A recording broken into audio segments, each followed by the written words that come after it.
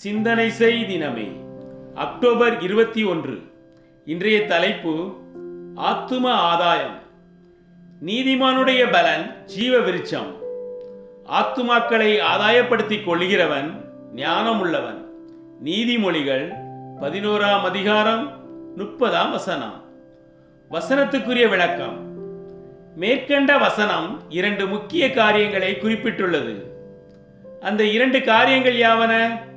ஒன்று தேவனிடமிருந்து நமக்கு கிடைக்கும் பலன். மற்றொன்று அந்த பலனை நாம் அடைய தற்பொழுது செய்ய வேண்டிய செயல். பலன் ஜீவ விருட்சம். அப்படியானால் அந்த பலனை அடைய நாம் செய்ய வேண்டிய செயல் என்ன? மற்றவர்களிடம் கிறிஸ்துவின் சுவிசேஷத்தை பகிர்ந்து கொள்வதே அந்த செயலாகும். அப்படி செய்கிறவர்கள் ஞானமுள்ளவர்கள் என்று சாலமோன் கூறுகிறார்.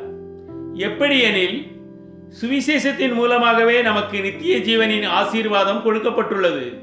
எனவே கிறிஸ்துவின் நற்செய்தியை நாம் மற்றவர்களிடம் அறிவிக்கும் பொழுது அவர்களும் ஜீவனின் பாதையில் நடக்க நாம் உதவுகிறோம்.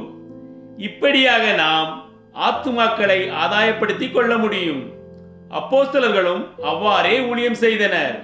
ஆகவே நம் ஆவிக்குரிய ஓட்டத்தில் நாம் ஞானமுள்ளவர்களாய் திகழ்ந்து ஜீவ விருட்சத்தின் பலனை பெற ஆத்தும ஆதாயம் செய்வோமாக. ஆமென்.